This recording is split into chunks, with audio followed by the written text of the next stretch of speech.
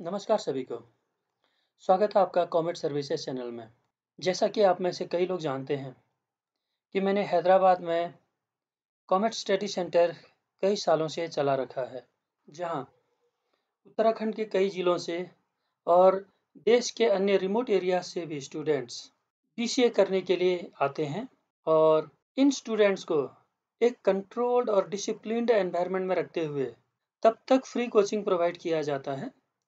जब तक कि इनका करियर सेट ना हो जाए। हैदराबाद में कॉमेट का सक्सेसफुल ट्रैक रिकॉर्ड को देखते हुए हम पिथौरागढ़ में भी कॉमेट स्टडी सेंटर शुरू करने जा रहे हैं।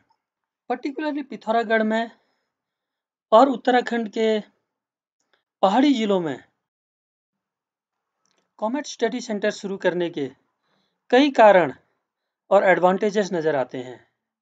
जैसे कि सबसे पहला कारण कई पेरेंट्स ऐसे हैं जो अपने बच्चों को पढ़ाने की खातिर अपना गाँव, अपनी खेती बाड़ी सब कुछ छोड़कर सिटी में बहुत महँगे में रहने को मजबूर हो जाते हैं जो कि पलायन का एक सबसे बड़ा कारण भी है।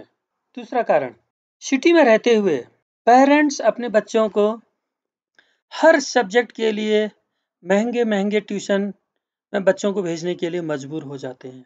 तीसरा कारण क्योंकि यहाँ का एजुकेशन सिस्टम करियर डेवलपमेंट को बिल्कुल भी ध्यान में नहीं रखता है।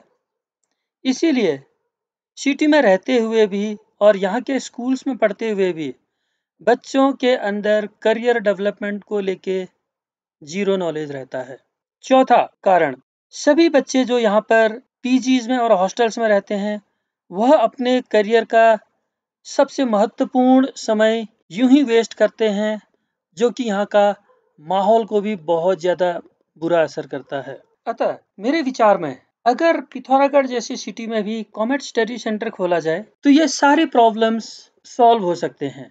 जैसे कि पेरेंट्स के पास एक ऑप्शन रहेगा कि अपने बच्चों को कॉमेट का जो डिसिप्लिन और कंट्रोल्ड एनवायरनमेंट है, वहाँ रखकर अपने बच्चों को पढ़ा सकते हैं, खुद अपने गाँव की वापसी कर सकते हैं और अपनी खेती बाड़ी संभाल सकते हैं। दूसरा, क्योंकि कॉमेट में डेली सुबह और शाम बच्चों को कोचिंग प्रोवाइड किया जाता है, इसीलिए पेरेंट्स को कोचिंग के नाम पर जो एक्स्ट्रा खर्चे हैं, उससे भी राहत मिलेगी।